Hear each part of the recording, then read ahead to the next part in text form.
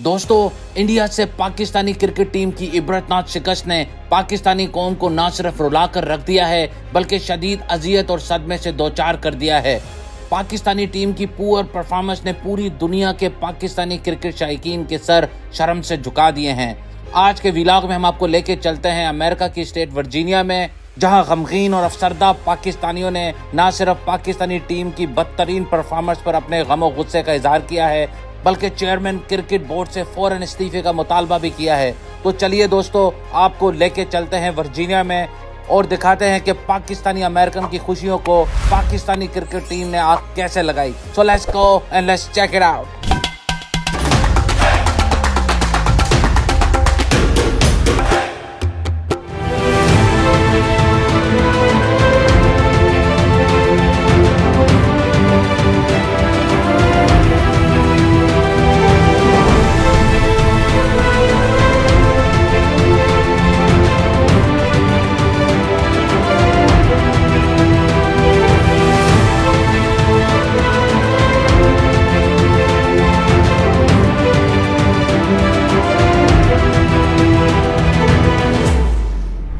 दोस्तों यहाँ पर इंडियन और पाकिस्तानी दोनों लोग बैठे हुए हैं और पाकिस्तानी जो हमारे दोस्त हैं, उनका चेहरा जो है डर के मारे बिल्कुल उतरा हुआ है। बहुत ज़्यादा परेशान है, बहुत ज़्यादा टेंशन में है। चेक कीजिए।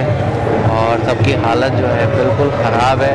पाकिस्तान हार रहा है। बड़ी अच्छी नीयत से आए थे लोग।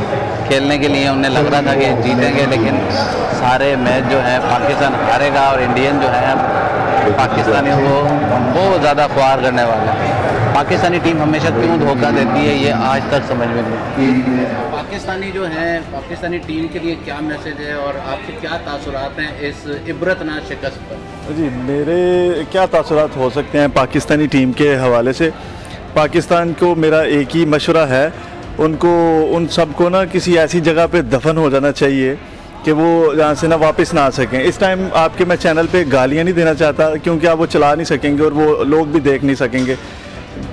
फ़िलहाल जो लोग मुझे सुन रहे हैं, जो देख रहे हैं, वो ये उनको जो जो सबसे सबसे गंदी गालियाँ आती हैं ना, वो अपने माइंड में वो तस्वुर कर लें कि वो मैं उनको दे रहा हूँ। और वो मैं सब लोगों के जज्बात भी जानता हूँ, वो भी सब लोग इस टाइम उनको गालियाँ दे रहे हैं। हम जिस जज्बे से, जिस जुनून से इनको सपोर्ट करते हैं, ये हमेशा हमें उसी तरह, हर टाइम मायूस करते हैं। हम हर दफ़ा यही सोच के आते हैं कि नहीं यार, चलो, एक और मौका।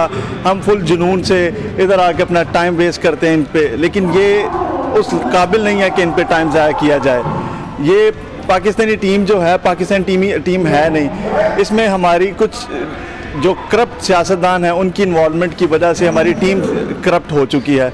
जो कि इस टाइम इसमें मेरिट नहीं है। ये भी न्यूयॉर्क आए हुए हैं, सब अपनी अपनी फैमिलीज़ के साथ ये वेकेशन पे आए हुए हैं। ये मैच तो खेलने नहीं आए।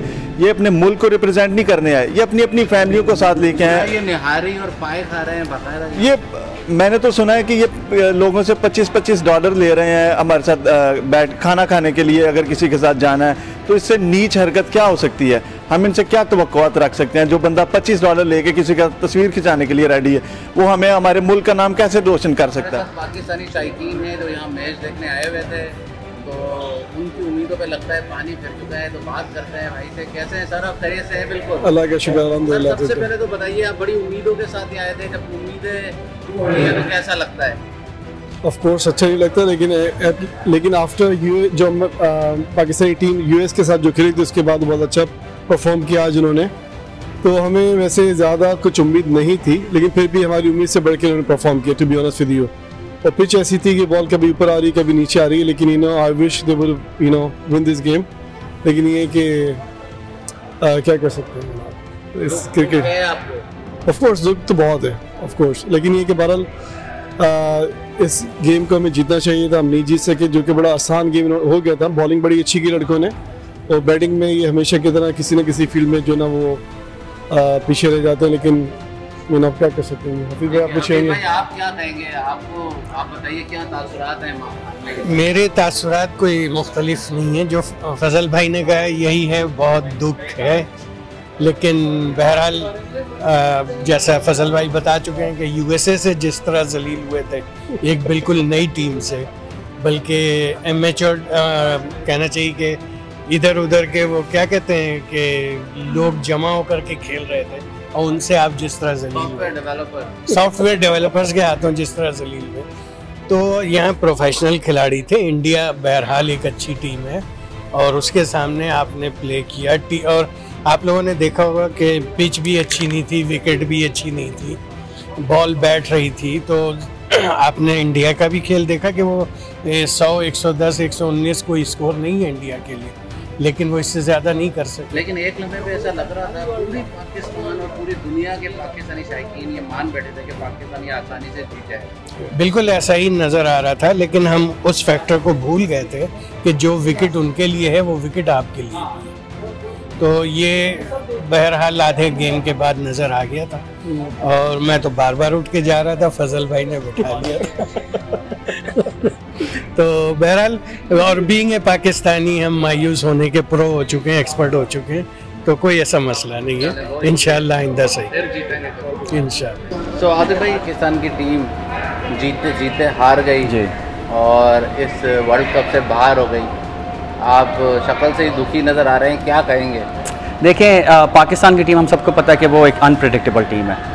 So, अनप्रडिक्टेबिलिटी का मतलब है कि they can do their best at one day and another day they will be at their bad और worse so you know specially जो यूएसए से मैच हारने के बाद जो पाकिस्तानी टीम का मोराल था it is not always easy to come back और bounce back from you know losing from a minnow team और छोटी टीम से हार के आप बाउंस बैक करें अगेंस्ट इतनी बड़ी टीम के तो it was already an challenge for Pakistani team तो मैं यही बोलूँगा कि it is you know high time आपकी और और आई वुड लाइक टू से कि जो क्रिकेट बोर्ड का चीफ है ही should resign Mohsin Naqvi should resign he is a political figure he is a political figure operating you know the cricket P C B so that's number one number two जो chief selectors हैं, जो selectors हैं they you know you guys want to remove them ये जो हमारे specially जो unfit players हैं for example जो the son son of Moin Khan he was playing there he was under a lot of criticism so you know you have to rebuild PCB आखिरी पैगाम ये कि guys uh, yes you did very uh, did very bad or uh, you know you have to give up friendships you have to uh, stop creating uh, groups within within the team play for the country क्योंकि हम लोग तो audience हैं हम spectators हैं हम आपके fan हैं हम लोग चाहते हैं कि आप लोग एक प्रॉपर क्रिकेट खेलें you have talent we all know लेकिन आप जब तक इस माइंडसेट से नहीं निकलेंगे you cannot win. So show professionalism, uh, remove this unpredictability, uh, uh, you know, within the team और बी प्रोफेशनल यार आप मैच देखने आए थे पाकिस्तान हार गया क्या तासुरात हैं? देखें बस अच्छा नहीं लगा देख के पर आई थिंक ये डिज़र्व करते हैं क्योंकि ये तो एक फिट नहीं है इनका बिहेवियर लग रही नहीं ये क्रिकेट खेल रहे हैं ये फ़ैशन शो करें बस यही कहूँगा। यार भाई पाकिस्तान की टीम हार गई इबरत नाम शिकस्त हुई एक टाइम पे लग रहा था कि हम जीत जाएँगे लेकिन हार गए। क्या पाकिस्तानी टीम को और पाकिस्तानियों को क्या पैगाम देना चाहिए? देखिए अभी अभी अभी मैच ख़त्म हुआ है।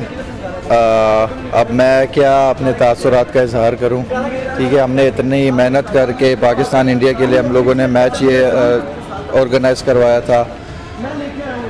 यूएसए के साथ जो इन्होंने मुँह काला किया है उसके बाद भी हम लोगों को इनके ऊपर तो थी कि हो सकता है बाउंस बैक करें। इंडिया के साथ बड़ा मैच है वो जीत जाए। आपको पता है पाकिस्तान इंडिया का मैच हमारे लिए वर्ल्ड कप से कम नहीं होता।